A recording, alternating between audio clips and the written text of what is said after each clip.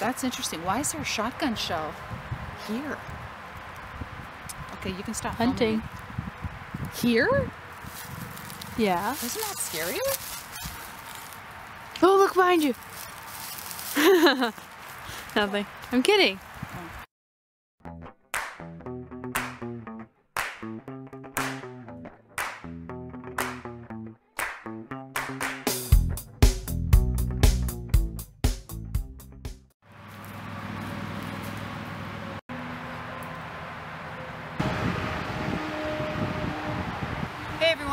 Out in the woods today.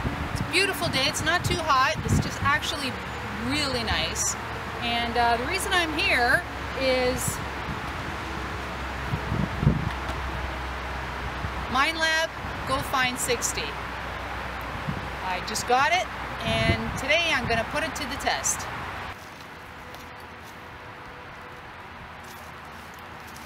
Not, not too many targets here which means it's good. It's not trashy.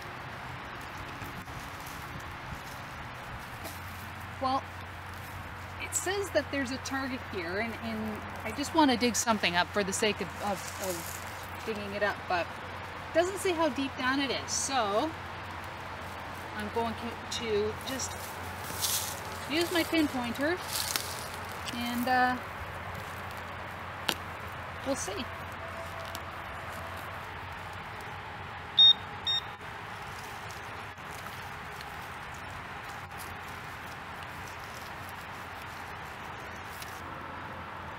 Okay, I've got a coin indicator. Could be a pop tap, could be a coin, but I'm gonna keep digging. I just don't know how deep it is. Um, so we're gonna dig the hole. Well, make it bigger anyways and find out.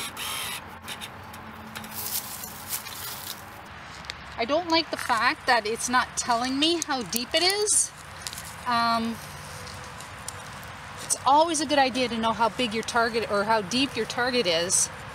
I mean, that will dictate how big of a hole you do and how much dirt you take out. So right now, I have no idea. So, uh, just digging a deep hole and uh, we'll try the pinpointer again. I'm not liking this detector. And I'm not getting a signal anymore. Look at. Nothing. Is it working? Yep.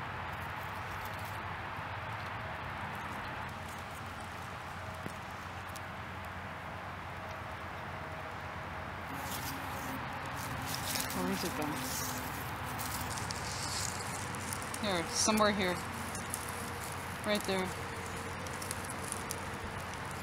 Pinpointer is pretty difficult on this one, so I'm going to dig the hole again and we'll see. Pinpointer is really difficult on this.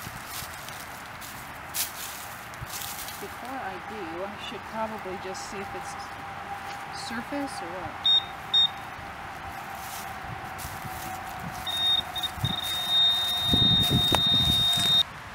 Well, the ring turned out to be a shotgun shell, and I gotta tell you, this is the first shotgun shell that I have ever found.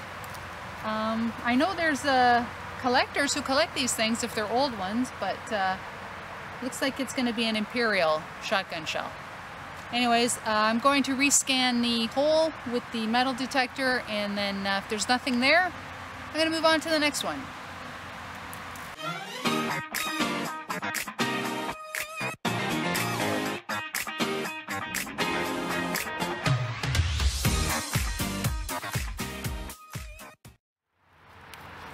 My signal? Gone.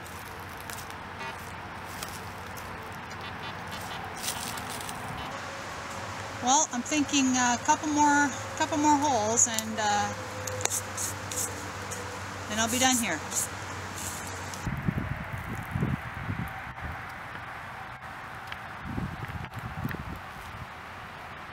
Have here is I have a bottle cap, and it's on the surface. This is how I found it. My detector is ringing in that it's iron. Just gonna, because I can see it, I'm just gonna try the pinpointing function just to kind of get an idea how this works because I'm still not I'm still not uh, sold on it. Well, I've got the bottle cap right in the center of the middle, the two middle bars, and uh, my detector's not reading anything. But if I if I move the detector so that the bottle cap is underneath one of the outer rings of the coil, then it makes a loud noise.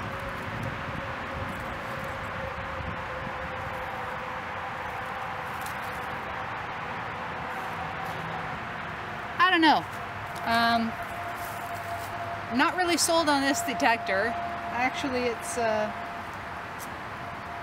a little disappointing. All right, I've been detecting in the woods for just over an hour. Found some junk, some iron, found a shotgun shell. Um, the pros, it's compact and it's portable.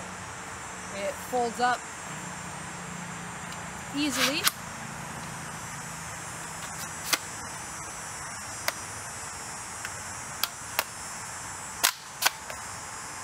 You could easily fit that into a backpack, your car seat, whatever. Um, very lightweight. But I have to admit, I was very excited when I got this. Uh, I'm not very excited anymore. The pinpointing, I don't like. Now, it could be that I need to spend a few more hours uh, learning it. The box does say that all you have to do is turn this on and start metal detecting. I tried to do that today, but it's been very frustrating for me. Like, like I said before, pinpointing, I just can't, I can't get it. I don't know. Um, I'm not sold on this. Um, I might have to give it more time. When I first got this, I thought that I could use it as a backup detector, have it in my truck, bring it along with me, uh, spur the moment kind of thing if I saw an area that I wanted to detect. I was also thinking that I could bring it when I actually go detecting. Um, if a property owner was a little, you know, inquisitive about what was going on, I could easily take this out of the truck, um, expand it, and give it to him or her, turn it on, and it's plug and play. You know, get to it, find some coins. But all I found today was um, very frustrating. I'm pretty frustrated with, with the way things have gone, and I'm not sold on this. So what I think I am going to do is I will clean it up, probably sell it, and look for another backup detector. If you think that you know the detector that I should be purchasing, please let me know in the comments down below. Um, I do have, as you know, uh, Garrett AT Pro International, and I do want to back up just in case, whatever reason the, the detector goes down, or I want to bring somebody with me detecting. So please feel free to let me know what it is you think I should buy, um, what I should stay away from, or do I even need a backup detector? I don't know, you tell me. Anyways, until next time, good luck and happy hunting.